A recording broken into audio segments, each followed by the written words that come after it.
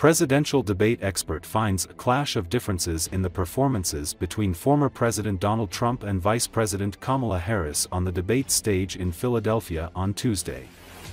Aaron Kall, a professor at the University of Michigan who studies presidential debates, said the more seasoned debater Trump delivered an inconsistent performance, while Harris delivered one of her best debates.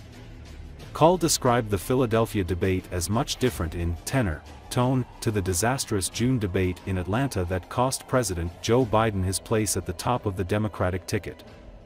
Harris effectively controlled much of the conversation with such attacks and baited Trump into responses that were at times vents, and at others, reminders of his wild rhetoric and fixation on the past.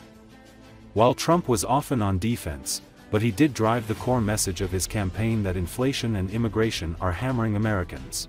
In Kall's assessment Trump missed an opportunity to talk about the policy evolutions of Harris and the chance to brand her a flip-flopper as her policy positions have changed.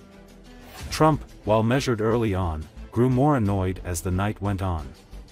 The Democratic vice president opened Tuesday night's debate with a power move, marching across the stage to Trump's lectern to shake his hand. The exchange set the tone for the next 90 minutes.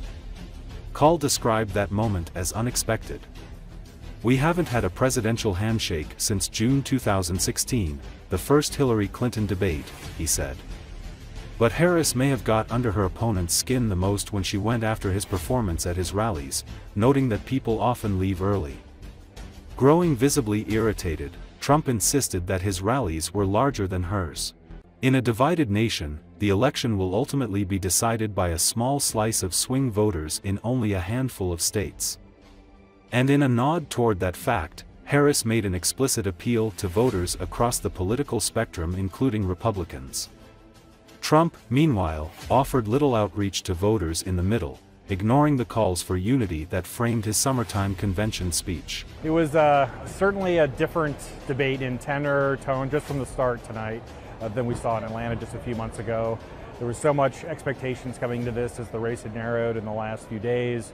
First debate for Kamala Harris, where seasoned uh, uh, Donald Trump has had seven contrasting styles and backgrounds and kind of philosophies in the debate. So it was a real clash of uh, differences between the two.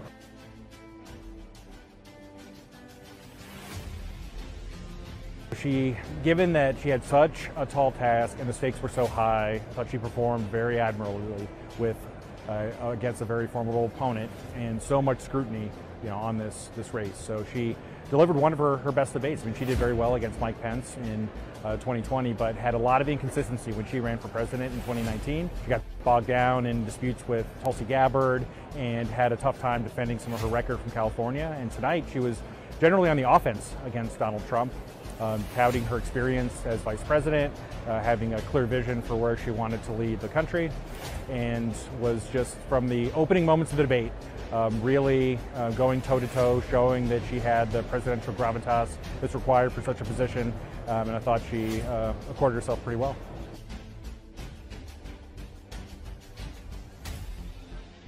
Donald Trump, I'd say, had a, an inconsistent performance, certainly not as well as he did in Atlanta.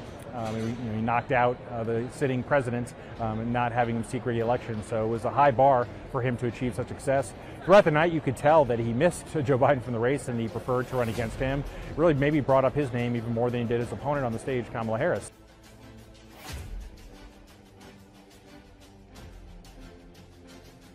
He had a lot of fertile ground to talk about the policy evolutions of Kamala Harris in the last five years. She had a lot more liberal positions on the environment and immigration and uh, the healthcare and the economy and things like that that have changed. And she's moderated and trying to maybe um, brand her as a flip-flopper like uh, George Bush did against John Kerry in the 2004 election, at least making the argument she has no core values and moderate voters wouldn't be comfortable knowing where she may stand if she does win the election.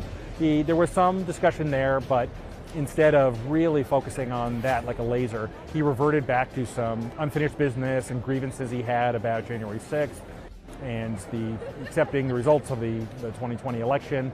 Uh, those are things I think, especially for those independent voters, they'd uh, prefer to move on and focus on the future as opposed to relitigating those things that we spent the past years doing in the legal system and other places. So um, as the debate progressed, he just got a little bit less disciplined, and you could tell um, that Kamala Harris achieved her goal of getting under his skin, and I think took him off his little his best debate game tonight.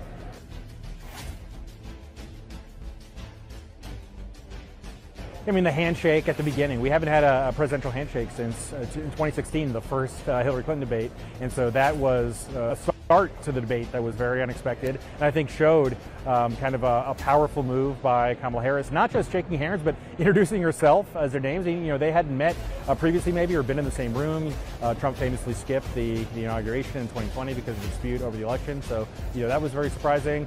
I thought that uh, Harris really prosecuted the case on foreign policy and talked about both her strength as being sitting vice president, some of the relationships she had with uh, foreign leaders, the travel that she's engaged in, but then also being aggressive and saying that uh, Trump is, you know, being using dictators uh, and kind of prefers them, more comfortable with them as opposed to democracy. Really uh, harping on that theme very strongly.